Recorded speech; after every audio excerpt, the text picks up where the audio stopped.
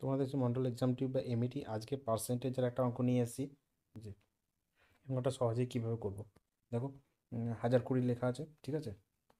তাহলে হাজার কুড়ি টোটাল হাজার কুড়ি যদি আমি ভর্তি তেলটা ঢালি, তার উপরে কত বাকি থাকবে?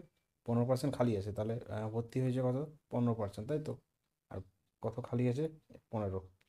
এটা পাঁচ দিয়ে কাটছি, পাঁচ তিনে পনেরো, পাঁচ সতেরো সতেরোকে কাটছি, সতেরো ইন্টু এটা দেখবে ষাট আসবে, ঠিক আছে? তাহলে কত হচ্ছে? একশো আশি।